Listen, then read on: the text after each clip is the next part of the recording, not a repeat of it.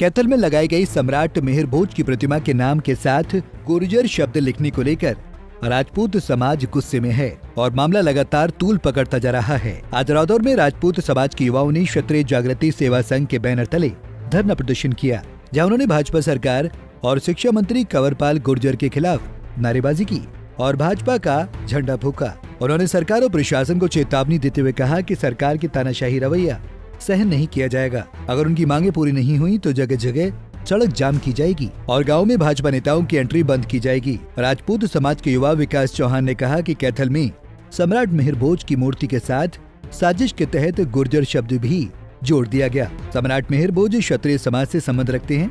महापुरुषों की प्रतिमा की स्थापना करने का अधिकार सभी को है, लेकिन इतिहास और सही तथ्यों से छेड़छाड़ करना गलत है। मामला ऐसा है जी मामला उठाया सम्राट मीर भोज जी के नाम पे। अच्छा जी। ठीक है जी। इन्होंने गुज्जर समाज ने और इनके नेताओं ने मिलकर पूरी साजिश से कत्थड़ एक चौक पर प्रतिमा लगाई है। प्रतिमा लगाओ महापुरुषों की प्रतिमा है। कोई भी समाज लगा लो कोई दिक्कत नहीं है। पर ऐसा हुआ वहाँ पे हमने वहाँ पर अपनी मांगे बनवाने के लिए डीसी साहब को एक ज्ञापन दिया। डीसी साहब ये महापुरुष क्षत्रिय हुए हैं। इनके आगे गुज्जर शब्द ना लगे।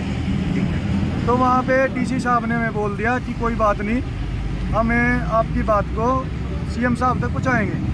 सीएम साहब तक उन्होंने बात नहीं पहुँचाई दो दिन का टाइम मांग लिया। सोलह तारीख को इकट्ठे हुए थे हम वहाँ पे कत्थड़ के अंदर। उन्नीस तारीख में जब हम वहाँ पे गए हमने शांतिपूर्वक डीसी साहब के अपना ऑफ़िस में गए। लगभग बारह बजे हम उनके ऑफ़िस में पहुँचे। और उन्होंने हमको साढ़े पाँच बजे तक वहीं पे बिठा के रखा। आश्वासन देते रहे हमें हमारी बात हो रही है सीएम ऑफ़िस में। लास्ट में हार के उन्होंने बात बोल दी कि भाई जो तुमसे होता है वो कर लो। वहाँ पर पुलिस वालों ने हमारे पास जो समाज के लोग थे राजपूत समाज के उन पर लाठियाँ डंडे बरसाए आँसू गैस के गोले छोड़े। और वहाँ पर आज अनावरण हो गया प्रतिमा का। उनके लिए तो धारा एक सौ चालीस लागू नहीं हुई। सुबह भी हम जैसे वहाँ पर गए तो धारा एक सौ चौवालीस लागू हो रही थी वहाँ पे। तो क्या नाम चेंज नहीं किया उसका? गुज्जर ही लिखा गया है वहाँ पे। सारी तानाशाही सरकार की रही। वहाँ का जिला अध्यक्ष अशोक गुज्जर लीलाराम गुज्जर वहाँ का विधायक और शिक्षा मंत्री था कंवरपाल उसको वहाँ पे जाना था। मुख्य अतिथि था वहाँ पर। इसने देखा राजपूतों का विरोध। वो वहाँ पर आया ही नहीं। सरकार के एजेंडे हैं बीजेपी सरकार के। बीजेपी सरकार हर जगह हमारे साथ इस तरीके से ही कर रही है।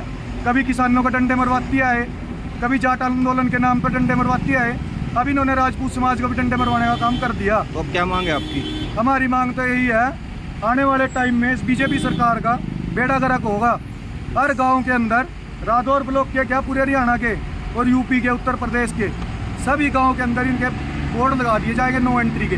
बीजेपी का कोई भी पदाधिकारी यहाँ पर नहीं आएगा।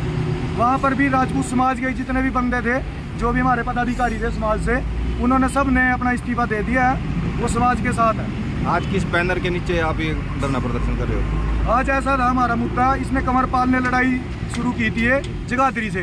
जगाधरी में इसने अपना वोट बैंक पाने के लिए, गुज्जर समाज का। गुज्जर समाज वहाँ पे बीस हज़ार है और लगभग राजपूत समाज वहाँ तीन हज़ार है। इसने सोचा कि भाई मैं अपना वोट बैंक कमा लूँ तो इसके लिए इसने एक प्रतिमा का अनावरण कर दिया वहाँ पे, जगाधरी के अंदर। वहीं से पूरी की पूरी यह राड शुरू हुई।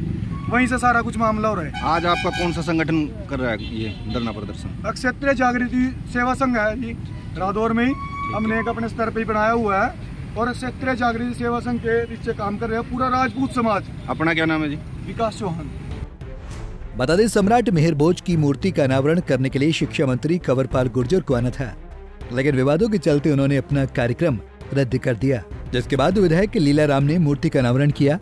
जिसको लेकर राजपूत समाज का कहना है कि सरकार से मिली भगत कर कैथल मूर्ति का अनावरण कर दिया गया, जिस पर सम्राट मेहरबोज के साथ गुर्जर शब्द लिखा गया है। विरोध करने पर प्रशासन की ओर से राजपूत समाज के लोगों पर लाठीचार्ज किया गया। ये एक निंदनीय घटना है। रादौर से कुलदीप सैनी, पंजाब केसरी टीवी।